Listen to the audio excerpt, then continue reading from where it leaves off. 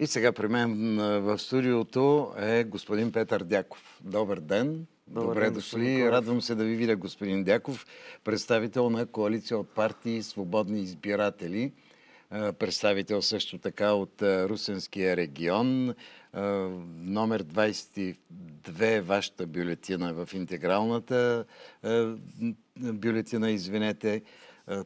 И Нищо повече не мога да кажа за вас, защото не виждам преференции.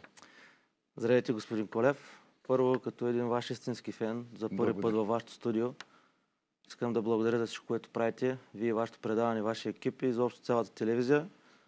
Толкова много информация съм получил от вас, обективни оценки и за мен е чест да бъда тази вечер тук. Относно вашия въпрос. А, аз не събирам преференции. Да. да, на последно място съм в русинската листа. Това, което аз правя е опита да дам личен пример. Така са учили моите родители. Не можеш да караш хората да правят нещо, което ти самия не си готов да направиш. Но нека да кажа нещо на зрителите. В предварителния разговор вие ми казахте, че сте се дошли специално от Съединените Американски щати, където работите и имате бизнес, за да подпомогнете изборния процес. Да, това е така. От 2015 година живея в Штатите, в Вашингтон, занимавам се с транспортна дейност. От 2021 година наблюдавам политиката в България. Аз като всеки един емигрант, mm-hmm. а, никой не отива да емигрира за цял живот. Mm-hmm. На дарен етап, лично на мен още от първата седмица ми се прибира, защото моите приятели, моето семейство, всичко, което обичам, се намира в Република България. Но прибрах се, защото тази апатия, която е взела, това, което се опитва да се обясни на всички българи, че едва ли не матча е предрешен, че нищо не може да се направи, че все ще така ще е лошо. Аз не съм съгласен. Разбира се, политиката е битка на идеи.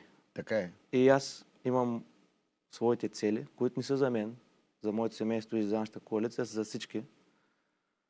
А... Защо коалиция свободни а, избиратели?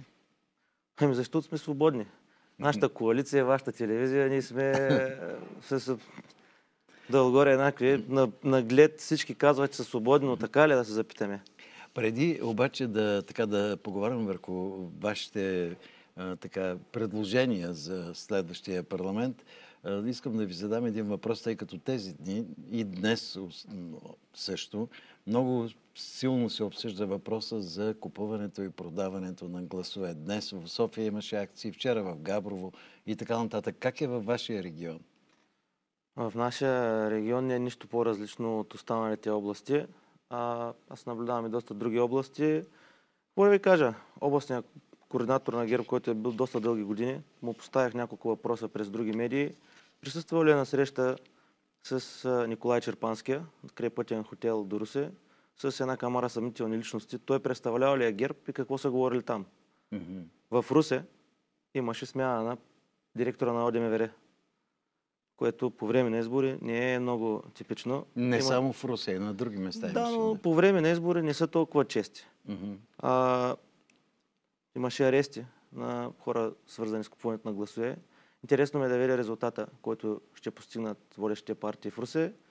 И, какво да ви кажа, а, много маски паднаха след целия избора, господин Колев. Политолози, социолози, анализатори, всякакъв вид хора, занимаващи се с облъчването на всички български граждани през телевизора, вече ясно се позиционираха към една или друга сила. Mm-hmm. И а, лично за мен е срам да се използва в държава, членка на Европейския съюз, термина технологичен вод. За мен всеки, който използва този термин, той просто се срамува да признае, че в България се купуват избори като а, никъде другаде, дори в Африкански републики, с цялото ми уважение към Африка. Тя се развива изключително бързо mm-hmm. и скоро ще бъде до 50 години водеща държава. Но насякъде има купуване на гласове, страх, страх, страх у хората. Аз, може би преди, на предните избори си помислих, че вече страха у хората се е разсеял почнаха някои имена, бяха забранени за споменаване, особено в малките общини и градове. Големия грях на партиите, които имаха някакъв реален шанс и получиха голямо доверие, mm-hmm. имам предвид партията на промяната и шоумените, е, че те не обърнаха никакво внимание, господин Колев, на малките общини. Общини до 10 000 човека. Областите градове, дори много от големите, от областните центрове знам, са малки. Знам, да. А там, господин Колев, оттам идва силата на купения вод и контролираните гласове. Оттам са зависимостите. Тия хора са оставени и предадени да бъдат мачкани. Е, може ли в 70% от а, малките общини кмета да е най-големия работодател? Община, я да има болница, някоя друга а, общинска дейност, ами той кмета е най-голям работодател. В малките градове се следят фейсбук групи, профили, кой харесва, кой ни харесва, какво пише, карат се. Аз от 3 години имам а, открит конфликт. С... Аз съм родом от град Бяла и се гордя с това да. русинско. Какво стана с моста? С моста какво стана? Да. Ами, с моста цяла България какво стана, само Белевския кмет твърди, че всичко е наред. Аз имах там доста... Това е много дълга Ще тема говорим е, допълнително но за това, да. За моста, mm-hmm. да са спокойни всички граждани на България, не само. А, в момента, благодаря, искам да му благодаря на господин Йордан, Терзиски. Чакаме отговор от а, а, кмета на град Бела Димитър Славов да отговори на Министерството на културата. Има официална кореспонденция, мъчат се да шиканират процеса, но то просто там е толкова очевадно, че имаме си план за действие. Да ще се случат нещата, истината ще излезе. Това е едно от нещата, които беща на целия български народ. Не само на хората от област Русе. Както и да е, обаче, е, вашите цели в политиката, които вие сте написали в 10 точки, са доста интересни. Аз ще ви помоля да, да ги представим накратко, разбира се, пред а, зрителите. А, заслужава си внимание един млад човек как вижда бъдещето. Аз искам само да ви коригирам. Те не са 10, те са 37. Е, аз, и мислех да, да ви изненадам с лищета да стеглите като на томбола и да говорим на случайен принцип, Добре, да не си мислят хората. Не, не съм подготвен 37 лищета, не мислех, че е, адекватно. Но... но пред мен са 10, които са в е, вашата... Ами кажете ми на вас, кое ви е най-интересно и да го изговорим набързо. Най-интересно ми е номер 3 и ще ви кажа защо. Стоп на дрогата по училищата, задължителни тестове за всички ученици. И сега ще ви прочета е, една новина, която открих е, днес и то съвсем е, случайно трябва да ви кажа. Става въпрос за една интересна инициатива в Норвегия. Там прокарват закон, според който до 15 годишна възраст няма да бъде разрешено на децата да влизат в социални мрежи. Аз абсолютно подкрепям тая идея. Аз самия не използвам социални мрежи. За мен живота през социалните мрежи беше изключително по-забавен, интересен а, и, как да я кажа, очарователен. Искам само да се извиня. Да. Стоп на другата по учетата, задължително тестове за всички ученици. Просто не ми достигна място да го събера за да. които учителите имат съмнение, че са неадекватни. Mm-hmm. А, не е учениците да ги тестват. За мен, за всички депутати трябва да има тест за алкохол и за наркотици, като влизат на работа си място. Mm-hmm. Но за учениците, господин Колев, аз си мислех, че а, от 2021 до сега, след 7 избора, а, за мен е единственото нещо, което наистина мога да кажа, че успяха да направят тия всички парламенти е че се пребориха с балоните с а, хели, с да. не, райски газ. Те това не са успяли да направят, господин Колев. Абсолютно свободно имат достъп. В развитите държави децата нямат право да напускат училищата, докато не им свърши часовете. Така ли е в Америка? Така е навсякъде. Аз съм бил в Русия два пъти по, по, по, по Еразъм, още като ученик, обмен да, да. великденските вакансии. Вие, учениците там нямат право да напускат. А, вижте, и самите наркотици, аз никога не съм употребявал наркотици и съм вър противник. А, вър противник на това, но видимо наркотици се променят. Има нови видове, да. най-под... които наистина от няколко ползвания могат да несат непоправими щети. Много родители, дори да видят, няма да признаят грешката на децата си, но не се ли работи с децата на време, mm-hmm. после се отключват а, казина, заложни къщи, лихвари и са цяло семейство, здраво семейство се вкара в един магиосен кръг, който много лесно може да бъде пресечен. Така е, обаче, Превенцията е да, най-важното нещо във всяка една сфера. Много така ме впечатли това ваше предложение за безплатното висше образование при положение, че се изключва договор с държавата. Сега, пак поради това, че няма до, до, до, място, това не е за всички а, специалности. Това не е Ма, ефтин популизъм. Се, вие ще го обясните, да. Медицински сестри. Mm-hmm. Енергетика. Ще строим централи, ние нямаме подготвени хора. Mm-hmm. А, военни академии. Ами добре бе на тия хора, за да не става така, че държавата им дава, ги образова, учат езици, излизат ни кадърни хора, отиват по чужбина и не се връщат, защото казвам ви, емигранта, ако излезе с образование, да кажем 20 до 30% излизат образовани и имат професия. Ми най-нормално е, докато се ориентираш 2-3-5 години, семейство, теглиш заем и ти просто се връзваш. И не може да се върнеш толкова лесно. 70% от иммигрантите са сезонни работници, но дори и това да емигрираш за няколко месеца да си решиш проблемите, които имаш, или да се обезпечиш следващите 3 месеца, вече не е на лице. Много развити държави имат проблеми, включително и Америка, не си мислете. А за мен трябва да се работи с хора, да им се даде е възможно за 5 годишен договор, за 10. Ми дайте му едно жилище преференциално. Дайте му облаги за български стоки. Мотивирайте го този човек mm-hmm. да остане в тази държава, а не да емигрира и да се чудим. Демографската криза е най-големия проблем на България. Това е за всички партии. От всички тези 10 точки аз не хващам популистски теми, да има конфронтизъм. Политиците, това, което аз виждам, поне от както ги следя, то е едно непрестанно плюение, омраза, съревнование, кой ще направи по-хубав скетч, меме, за да може да го въртят по тик-ток и ала-бала. Трябва да се отнасят сериозно. Политиката е нещо, което, за да си подготвен, ти трябва да си научен. Има в България голяма липса на лидерство. Кои, господин Колев, като си купувате кола, апартамент, вие ни сравнявате ли цена, качество, локация, от кого купувате, рискове? Ами кой политик ви дава на вас една хубава стратегия, един хоризонт? Никой не може да влезе с 150 депутата. Разбира се, вие ще трябва да работите с някой. С кой да работите като един е плюс другия? Третия, петия. Не става така. С те преди да изборния ден вече вратите долу-горе са затворени. Те се и после се чудим да, сглобка ли е, да. какво е.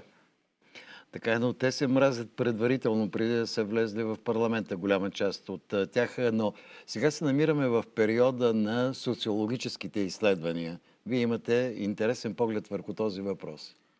Първо, кой български граждан иска 30 дена да го занимават кампания с а, кой бюлетина, предавания. И на вас съм сигурен, че не ви допада 30 дена. Просто плакати да се лепете едни глупости. 10, 7 до 10 дена е реалното време за кампания, поне за мен в България. Mm-hmm. Ти не можеш да очакваш някой за 30 дена ще направи нещо, хората го забележат. Ма ти ако не си дал личен пример, ако нямаш каузи, мисии, да обединиш хора, да работят с тебе, ти ако мислиш за 30 дена ще намериш някой да те хареса, социологическите агенции за мен по време на а, избори, те трябва да бъдат спрени, забранени. Те манипулират. Един път не са познали господин Колев за 7 пъти. Ама аз 7 пъти лотария да играя без да знам партиите в mm-hmm. Замбия и ще оцеля един път. Те един път не оцелиха. Това според вас случайно ли е? Аз не вярвам на случайностите, господин Колев. Обаче има още нещо. Днес се появиха така новини за злоупотреби с данни, лични данни от дебитни и кредитни карти. Господин Колев. Вие имате предложение за дигиталната сигурност. Сега, не може ни да претендираме и да се сравняваме с най-развитите държави в света. Да. В Европа и в света и да имаме два члена закон за киберсигурност. Държава в Европа. Не може ние да нямаме елементарни. Хората състезаваха преди 20 години в космоса. В днешно време Америка, освен а, вода, суша, а, нали, граници, космос, има официален, а, не само Америка, и Русия, и Китай, и Индия, и Англия. Вие не може да нямате интернет, ако спре. Да. Младите хора и много от възрастните хора, всичко блокира. Вие видяхте един COVID, как парализира света. Mm-hmm. Няма развити ни развити. И ние с толкова IT специалисти да нямаме ние една дигитална сигурност. Какъв беше, където крадна Алексей Петров лекал пръс а, и го изнудва хакерчето, където го хванаха на 18 години. Да. Е, може ли един такъв човек да отиде и източи НАП, болници, застрахователни дружества и да се подиграе с цялата държава мега, мага данс? Е, Държавна агенция за дигитална сигурност. Ма това е подигравателно. Това е риск за националната сигурност. Аз като студент в Военната академия по киберсигурност много трябва да се работи. Това трябва да се наблегне, защото в днешно време това е много опасно. Една кибервойна ще парализира целия свят. Болници, всичко. А, според вас е ли възможно да се реализира вашата идея да се възстанови общинската собственост? Не, не, не, не. Нямам а, никакви предложения за общинска собственост. Това, което Еми. искам да кажа, Да. е пълно възстановяване на стратегическа, общинска и държавна материална база. Не може да се хвалят водещите партии, направили площадка, спортен салон, а, ремонтирали, санирали блокове, а готова изградена структура да стои и да се руши, да не се продава.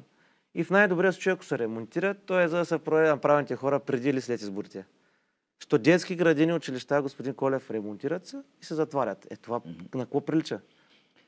Ами не само стратегическата общинска и държавна материална база, с нея трябва да стане това, но и много неща от а, близкото минало бяха разпродадени, структури цели, стабилни предприятия и така нататък. Аз съм учен да мисля за бъдещето, защото това е което ние може да променим. Миналото само може да го анализираме, то е за историците. Така това, е, което аз искам да кажа през вашето уважавано предаване, да, да ме чуят по-голям хора и най-вече кандидат политици. Политик Слушам ви, да. не се става от днеска за утре. В България хората се отблъскват от политика първо, защото голяма част от партиите обслужват частни, частни интереси или интереси на група хора. Скъсане е диалога. Коя партия има всеки месец събрания? Говори се с обикновените избиратели. Кажете ми, а, вие виждате ли хора поставяни на важни ключови позиции, които не са зависими? Никой не иска, зависимите хора, те не искат някой с идеи. Те искат един послушко и Да. затова всички партии в парламента, ама извиняйте, седем парламента, айде те някои депутати се повтарят, ама има хора, дето родителите им няма да ги запомнят в кой парламент са били, че са били там. Това Сега- е подигравателно. Аз ще ви поканя да си поговорим подробно по тези въпроси, защото имате интересни виждания, но ни остава само една минута от лимитираното време. Какво бихте искали да кажете на зрителите и на избирателите най-вече? На всички искам да кажа една моя мисъл, която насякъде дори съм се сложил на предизборните материали. За мен България ще успее тогава, когато всеки един от нас осъзнае, че носи своята отговорност за състоянието й. Българи, това е нашата държава. Хванете се в ръце. Не може само да искаме и да псуваме. Не псувайте, а гласувайте. Не оставяйте хора с технологичен вод да вземат решение и да ги гледате всеки ден по националните медии, как се карат и се правят стендъп комеди. Излезте, гласувайте. Ако не харесвате мен, аз съм номер 22. Изберете си число на случайен принцип, но гласувайте. Не искам да споменавам за РИК, за мъртвите Да. души. Приключваме, да. Моля ви се, упражнете правото си на глас. Аз съм се върнал от щатите, няма да се откажа, ще продължа да се боря. Благодаря ви, господин Дяков. Благодаря ви за днешното гостуване. Благодаря на вас. Купуването и продаването на гласове е престъпление.